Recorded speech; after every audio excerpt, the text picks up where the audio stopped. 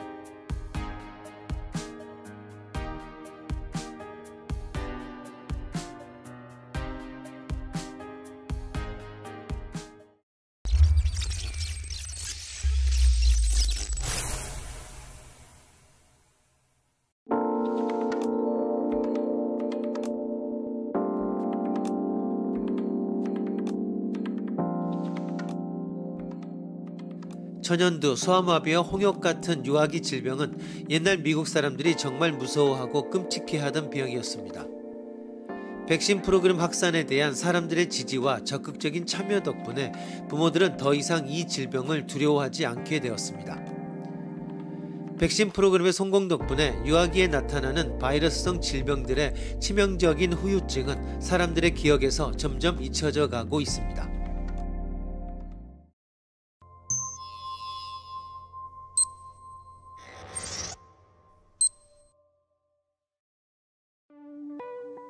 백신의 효능은 잊혀지고 생독 백신으로 인한 부작용은 거의 없음에도 현재 자녀들에게 백신 접종을 하지 않는 부모들은 엄청나게 많다. 과학적인 증거에도 불구하고 점점 더 많은 사람들이 발작 및 자폐증 등의 건강 문제를 유발하는 것이 백신이라고 믿게 되었다. 미국의 모든 주에서는 면역 반응 체계가 불완전하거나 백신에 알러지가 있는 아동의 경우 취약 전에는 백신 접종을 시키지 않아도 좋다고 허용하고 있다. 게다가 약 3분의 1개 주에서는 사적인 혹은 철학적인 이유를 제기하는 개인에게 의무 백신 접종을 면제해주고 있다. 이런 경향이라면 이른바 집단 면역 효과는 사라지지 않을까? 또 그런 경우 병에 걸리면 누가 책임질 것인가?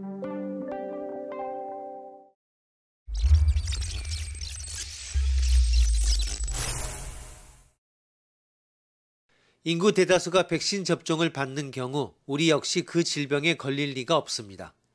이 면역 보호를 집단 면역이라고 합니다.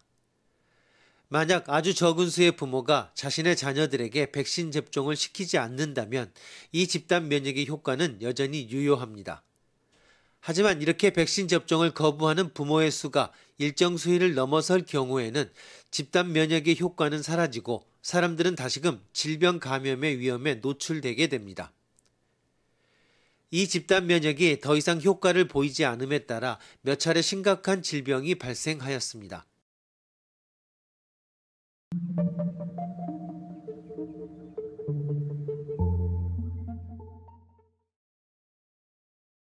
(1990년) 남부 캘리포니아 지역에서는 (4만) 명의 사람들이 홍역에 걸려 (100여) 명 가까운 사망자를 냈습니다.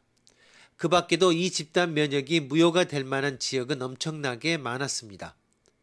워싱턴주의 애션섬에서는 초등학생의 18%가 대부분 소화기 질병 백신 접종을 받지 않았습니다. 이 아이들뿐 아니라 그 외 사람들 역시 이 질병 감염의 위험에 노출되어 있습니다.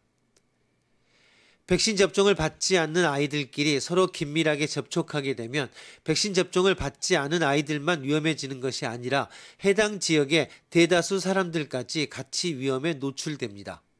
유아와 면역 체계가 약한 노령층, 태아 및 백신 접종을 받지 않는 아이들 모두가 질병 발생 시 감염 위험에 노출되게 됩니다.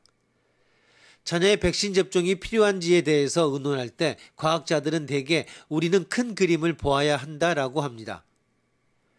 자녀의 건강이 위험한 경우, 특히 백신 접종 이후에 부작용이 뭔지 잘 알고 있을 경우야말로 정말 결정을 내리기 쉽지 않습니다. 하지만 언론 매체 등에서 백신으로 인한 자폐증, 발작 및 음유사 등의 사례를 보도하면 대중들은 백신 접종을 꺼리게 됩니다. 이런 경우 건전한 회의주의 사고를 유지하는 것을 잊지 말아야 합니다. 마음을 열어두되 자녀에게 백신 접종을 시키지 않는 결과가 얼마나 무서운지를 기억하고 감정에 충실하지 말고 과학적인 근거에 따른 결정을 해야 합니다.